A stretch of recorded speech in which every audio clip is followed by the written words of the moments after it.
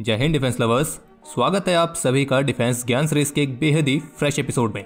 आज के एपिसोड में हम बात करेंगे मेन बैटल टैंक्स के बारे में। एक ऐसा वेपन प्लेटफॉर्म जो कि आज भी दुनिया भर की आर्मीज के लिए बेहद ही महत्वपूर्ण भूमिका निभा रहा है।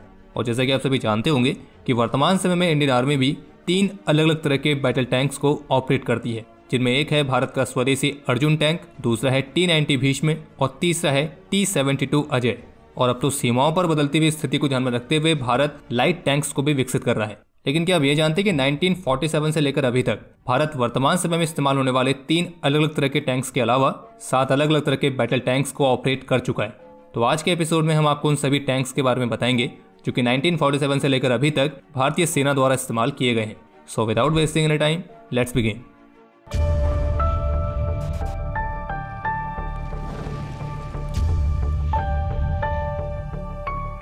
तो 1947 में स्वतंत्रता के साथ जब भारत का विभाजन हुआ तो उस विभाजन के साथ जो 1947 से पहले एक मैसिव ब्रिटिश इंडियन आर्मी थी तो वो भी दो हिस्सों में बढ़ गई।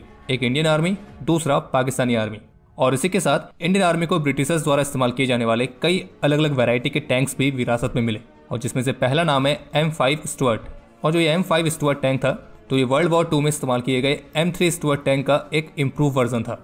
जो कि 1942 में ब्रिटिशर्स को सप्लाई किया गया और इस टैंक को बनाया था यूएस ने।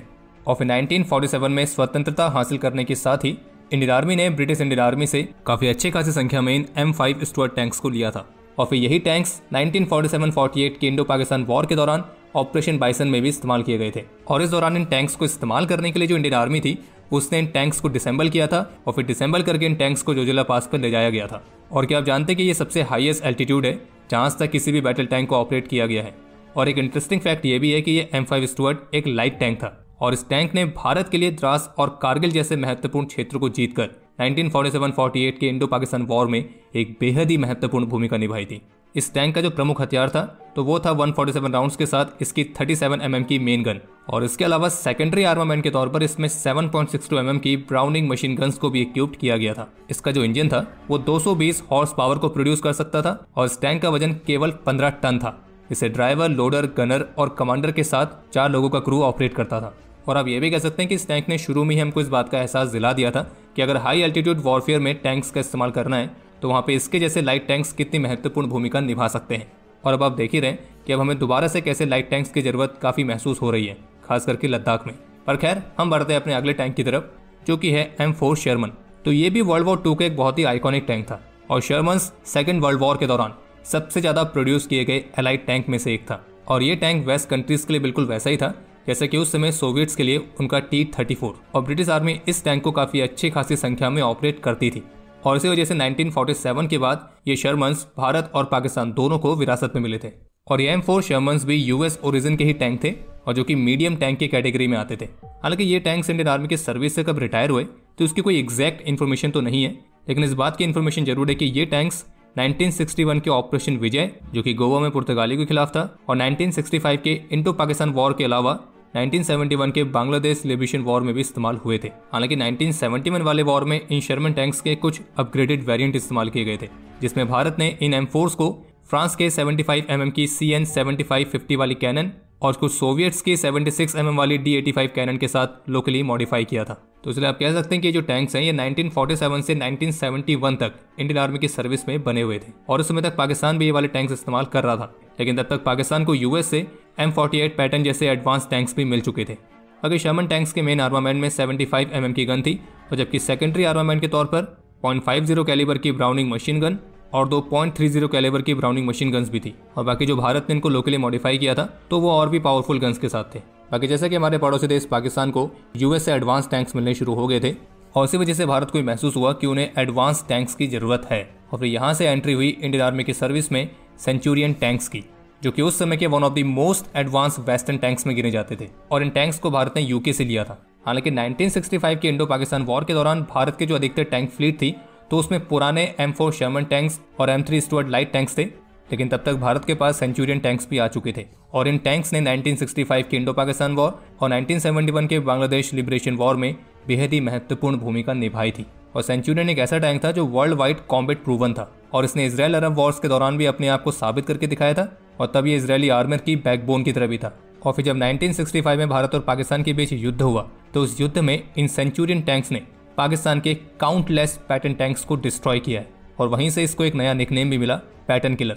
और केवल 1965 ही नहीं, बल्कि 1971 में भी बसंतर की लड़ाई में भारत के परमवीर सेकंड लेफ्टिनेंट अरुण खेत्रपाल की कमांड में पूना हॉर्स के सेंचुरियन टैंक ने अकेले पाकिस्तान के आठ पैटर्न टैंक्स को डिस्ट्रॉय किया था। और क्या आप जानते हैं कि सेंचुरियन टैंक का एक निकनेम भी है, और वो है फामागुस्ता और ये फामागुस्ता नाम उस टाउन के नाम पर रखा गया है, जो कि साइप्रस के ईस्टर्न कोस्ट में है, जहाँ पे लेट 1940s में पूना हॉर्स स्टेशन थी। बाकी सेंचुरियन टैंक्स 87 mm की मेन गन के साथ इक्विप थे, और जबकि इसके बाद के कुछ वेरिएंट्स 105 mm की मेन गन के साथ अपग्रेड भी किए गए थे, जो कि आज के कई मॉडर्न टैंक्स में ऑलरेडी इस्तेमाल हो रही है, जैसे कि लेपर्ड और एब्रम्स के बाकी के अर्ली वर्जन बाकी सेंचुरियन टैंक्स में रोज रॉयस का मीटियोर इंजन लगा हुआ था, जो कि 650 हॉर्स पावर को प्रोड्यूस करता था, और इस टैंक का वज़न था लगभग 51 टन बाकी इस लिस्ट में अब अगला नाम है फ्रेंच ओरिजन के A M X thirteen light tanks का। हालाँकि ये जो टैंक्स है इंडियन आर्मी की सर्विस में एक्जैक्टली कौन से ईयर में इंडक्ट किए गए तो इसका कोई इन्फॉर्मेशन तो उपलब्ध नहीं है। लेकिन हाँ ये ज़रूर कंफर्म है कि ये टैंक्स 1952 के बाद इंडियन आर्मी की सर्विस का हिस्सा बने और ये टैंक्स 1962 के इंडो चाइना वॉर में भी इस्तेमाल हुए थे, जब इन्हें चुसूल तक एयरलिफ्ट किया गया था। और इसकी अपने आप में एक बहुत ही दिलचस्प स्टोरी है कि इंडियन एयरफोर्स ने कैसे इतने सारे चैलेंजेस होने के बावजूद भी इन टैंक्स को चुसूल तक एयरलिफ्ट कर दिया था। और इन टैंक्स ने 1965 के इंडो पाकिस्तान वॉर में भी बेहद ही महत्वपूर्ण भूमिका निभाई थी। और खास करके छम जॉर्जन वाले सेक्टर में। बाकी इस टैंक को 75 फाइव mm की ऐसे फिफ्टी राइफल गन से इक्विप किया गया था और इसमें सेकेंडरी आर्मामेंट के तौर पर 7.62 पॉइंट mm की कोएक्सियल मशीन गन भी थी। और इसका जो इंजन था, वो 250 हॉर्स पावर को प्रोड्यूस करता था और इस टैंक का वज़न केवल 14 टन था। और वज़न में इतना हल्का होने की वजह से इसे एक नया निकनेम भी मिला था और वो था जंपर टैंक और अगर आप इस वीडियो को यहाँ तक ध्यान से देख रहे हैं तो आपको समझ में आया होगा कि 1947 के बाद से भारत ने ब्रिटिश और फ्रेंच टैंक्स का काफ़ी इस्तेमाल किया। लेकिन आज़ादी के बाद केवल यही टैंक्स आर्मी की सर्विस में नहीं थे, बल्कि इनके अलावा सोवियत ओरिजिन के टैंक्स ने भी आर्मी की सर्विस में अपनी महत्वपूर्ण सेवा दी थी और इन्हीं में से एक टैंक था पी टी जो कि 1962 से 2009 तक इंडियन आर्मी की सर्विस में बना रहा। और पी टी एक सोवियत ओरिजिन का एम्फीबियस लाइट टैंक था और इसी वजह से इस टैंक का पूरा नाम फ्लोटिंग टैंक 76 था। इन लाइट टैंक्स को सोवियत यूनियन से भारत ने 1962 में लिया और शुरुआत में 178 टैंक्स ऑर्डर किए गए थे और फिर बाद में इसके और भी ऑर्डर्स प्लेस किए गए और इंडियन आर्मी ने इसे 1965 के इंडो पाकिस्तान वॉर में पाकिस्तान के M twenty four Chaffee light tanks के खिलाफ इस्तेमाल किया था। और 1965 के अलावा इस टैंक ने 1971 में भी एक्शंस देखे हैं। और 1971 में तो इंडियन आर्मी की सुपीरियर टैक्टिक्स के साथ इस पी टी ने संख्या में कम होने के बावजूद भी पाकिस्तान के M twenty four Chaffee light tanks पर अच्छी खासी बढ़त बनाई थी और अपने आप को सुपीरियर साबित करके दिखाया। और इन टैंक्स की सुपीरियरिटी को साबित करने का एक सबसे अच्छा एग्ज़ाम्पल है गरीबपुर की लड़ाई।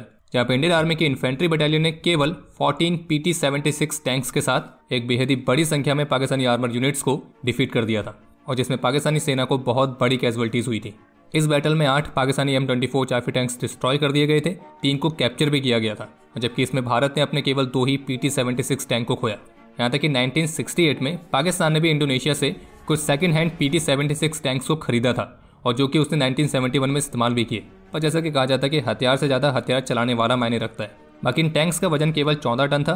इन्हें 76 सिक्स mm की D fifty six T rifle gun से इक्विप किया गया था और वो भी 7.62 पॉइंट mm की को एक्सेल मशीन गन के साथ। इनको पावर देने के लिए इसमें V6 टाइप डीजल इंजन लगा हुआ था, जो कि 240 हॉर्स पावर को जनरेट करता था और ये रोड पर 44 किलोमीटर पर आर और पानी पर 10 किलोमीटर पर आर की स्पीड से चल सकता था। और ये एक ऐसा टैंक था जिसने दुनिया भर के कई सारे युद्धों में भाग लिया था। फिर चाहे हंगरी का इन्वेजन हो वियतनाम वॉर हो अरब इसराइल वॉर हो या फिर गल्फ वॉर हर जगह ये टैंक इस्तेमाल हुए हैं और लगभग बारह हज़ार से अधिक पी टी टैंक्स प्रोड्यूस किए गए थे। इन टैंक्स के बाद फिर भारत ने टी फिफ्टी फोर और टी फिफ्टी फाइव को भी लिया, जो कि 1964 से 2011 तक इंडियन आर्मी के सर्विस में बने हुए थे। और इंडियन आर्मी के सर्विस में इस्तेमाल होने वाले सोवियत ओरिजन के पहले मेन बैटल टैंक्स थे, और जिनकी 300 यूनिट्स के लिए 1964 में भारत ने ऑर्डर्स दिए थे। और ये एक ऐसा समय था, जब के का इन्फ्लुएंस इंडियन गवर्नमेंट में काफ़ी बढ़ रहा था, और जिस वजह से Indian arm forces western hardware से सोवियत हार्डवेयर में शिफ्ट हो रही थी। और फिर जल्द ही आर्मी को भी इन सोवियत मशीन्स को टेस्ट करने का अवसर भी मिला। जब 1971 के बांग्लादेश लिबिशन वॉर में, जब भारत ने टी फिफ्टी और टी फिफ्टी को काफ़ी बड़े पैमाने पर इस्तेमाल किया, और इन टी फिफ्टी टैंक्स के दुश्मन टैंक के साथ मुलाकात सबसे पहले 22 नवंबर उन्नीस गरीबपुर की एरिया में हुई थी, और उस एरिया में भारत के टी फिफ्टी ने पाकिस्तान के तीन एम ट्वेंटी चाफी टैंक्स को डिस्ट्रॉय किया था। और फिर 10 और 11 दिसंबर को नैनाकोट की लड़ाई में भी भारत के टी फिफ्टी ने पाकिस्तान के नौ एम और एम टैंक्स को डिस्ट्रॉय किया और वो भी अपनी तरफ़ बिना कोई लॉस लिए। और फिर बसंतर की लड़ाई में भी इंडियन आर्मी के टी फिफ्टी ने पाकिस्तान के 46 सिक्स एम टैंक्स को डिस्ट्रॉय किया था।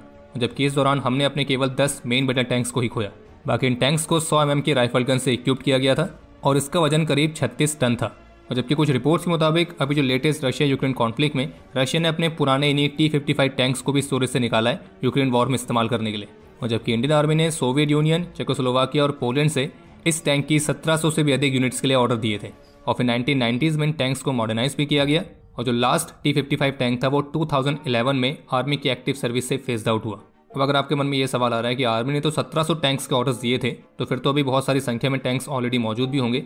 तो बता दें कि वो टैंक्स अभी स्टोरेज में रिज़र्व के तौर पर रखे गए और कुछ टी फिफ्टी फाइव के जो टैरेट्स हैं, वो एल के साथ स्टैटिक डिफेंस के लिए भी इस्तेमाल किए जाते हैं। और बाकी इसके बाद इस लिस्ट में जो अगला नाम है, वो है विजयंता मेन बैटल टैंक्स का, जो कि 1963 से 2008 तक इंडियन आर्मी में अपनी सर्विस दे चुके हैं। और इस टैंक के बारे में तो आप सभी जानते होंगे कि विजयंता या फिर विकस मेन बैटल टैंक शुरुआत में यूके में विकस एमस्ट्रॉन्ग द्वारा विकसित किया गया था।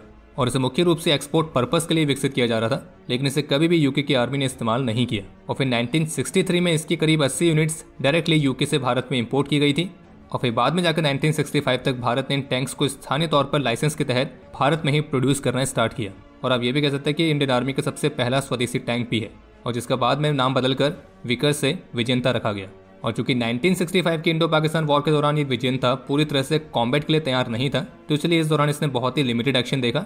लेकिन 1971 के बांग्लादेश लिबरेशन वॉर में विजेंता को अपने आप को साबित करने का अवसर ज़रूर मिला था। और उस दौरान ईस्टर्न फ्रंट पर यह अपने फुल पोटेंशियल पर इस्तेमाल किया गया। और लेफ्टिनेंट जनरल जगजीत सिंह अरोड़ा की कमांड के तहत एट्थ ट्वेंटी और फिफ्टी डिवीज़न ने इन विजेंता टैंक से लैस होकर ब्लिट्स ग्रेक रणनीति का उपयोग करते हुए पूर्वी पाकिस्तान में भारतीय हमले का नेतृत्व किया था। बाकी जो भारत में बना विजेंता मार्क वन था, उसे इक्विप किया गया था एल सेवन ए टू एक सौ पाँच एम की मेन गन से। और बाकी इसमें 12.7 एम की को एक्सेल मशीन गन भी लगाई गई थी थाउज़ेंड राउंड्स के साथ, और 1986 तक करीब 2200 विजेंता टैंक भारत में स्थानीय तौर पर प्रोड्यूस किए जा चुके थे। लेकिन इनमें से कुछ ही टैंक्स थे जिनको मार्क वन ए स्टैंडर्ड में मॉडिफाई किया गया था, जबकि पहले योजना थी कि करीब 1100 विजेंता टैंक्स को अपग्रेड किया जाएगा।